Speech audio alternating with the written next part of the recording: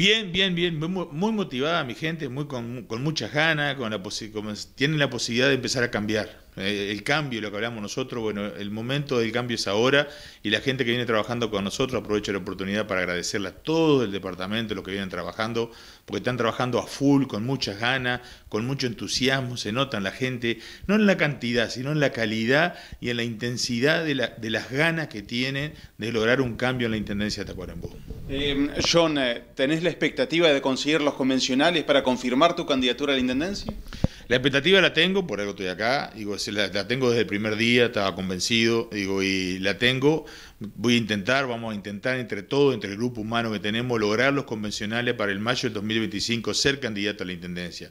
Creo que la Intendencia necesita un cambio, un cambio de gestión, un cambio de rumbo, un cambio de persona, y tiene que estar gente nueva. Usted ve en la lista 33, le pido a la gente que, que vean la gente que está en los primeros lugares, y van a ver toda gente nueva. ¿Por qué? Porque yo vengo a realizar un cambio.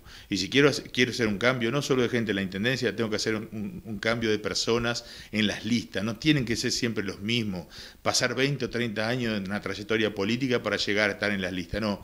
En mi primer lugar van a ver a Albano, van a ver a Pedro Maresteve, van a ver a Richard Menoni, van a ver a Rubén Roura, a Lornataño, a Facundo Rodríguez, toda gente nueva, gente distinta, gente diferente porque tenemos que dar el lugar a los jóvenes. Si no le damos lugar a los jóvenes, ¿cuándo los jóvenes van a poder participar en política? Bueno, acá en las 33 tienen lugar. Y las dos personas, los dos referentes, Everta Rosa y Sergio Chiesa, no, están más atrás en la lista. ¿Por qué? Porque ellos son los padrinos, ellos no van a ocupar ningún cargo en la Intendencia, pero sí nos apoyan y nos aconsejan políticamente, porque tienen una trayectoria que nos apoya. Pero eso es lo importante, la renovación que vamos a lograr con la lista 33 en lo departamental. Y si, bueno, si tenemos los convencionales el 30, vamos a lograrlo en la Intendencia. John, ¿cuáles son tus principales propuestas? Eh, ¿Dónde querés marcar ese cambio eh, en la Intendencia departamental?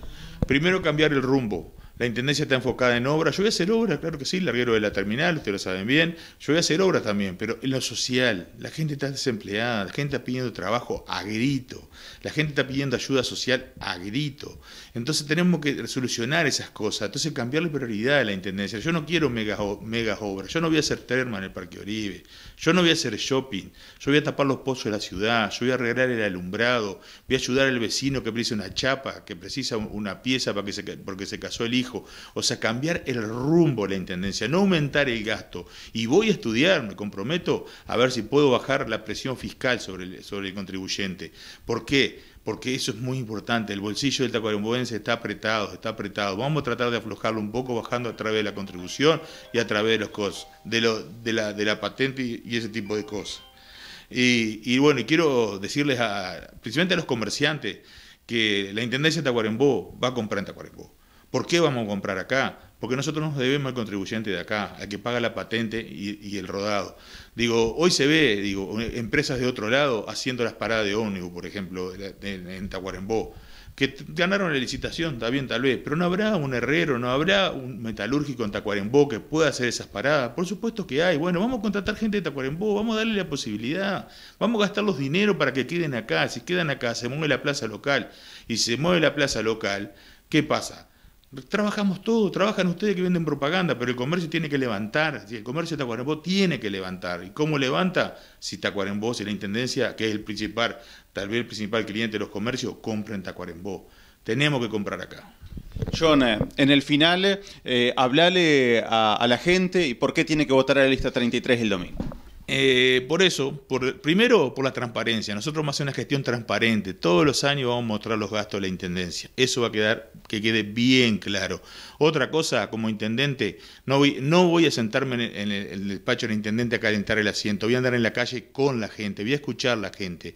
Y votar la lista 33 por un cambio, un cambio de persona, un cambio de dar la posibilidad a la gente joven, un cambio diferente, un gestionar la Intendencia diferente. Yo no voy a ser dinosaurio de un millón y medio de dinosaurio de hormigón de un millón y medio de pesos. porque se me caería la cara de vergüenza si me gasto un millón y medio de pesos de todos ustedes, de todos los tacuaremborenses, en hacer un dinosaurio de hormigón? Yo voy a arreglar las calles de Tacuarembó. Los invito acá a la vuelta en la calle 33 para que vean la cantidad de pozos que hay. Bueno, aquí, aquí a la vuelta, frente, frente a Jesús Sacramentado nomás. Yo no puedo hacer un, hormigón, un, dinosaurio de hormigón y no tapar los calles de la ciudad. Bueno, eso es una gestión, tenemos una gestión agotada. Bueno, vamos a cambiar la gestión. Vamos, gente, no es una crítica, es una realidad.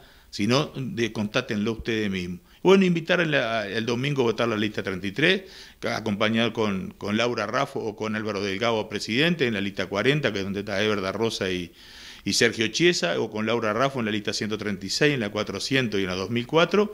Y bueno, y que voten la 33. Van a estar todos identificados nuestros delegados con un chaleco amarillo con la lista 33, John Dualde. Y bueno, invitarlos a votar el domingo y que participen, y que lleven el voto en el bolsillo y que no acepten presión de ningún tipo. ¿Por qué? Porque en la pieza está la urna y está ustedes y el voto, nadie más. Y nadie sabe lo que ustedes votan. Así que no, no acepten presión de nadie. Voten tranquilo y vayan a votar que eso es la base de la democracia.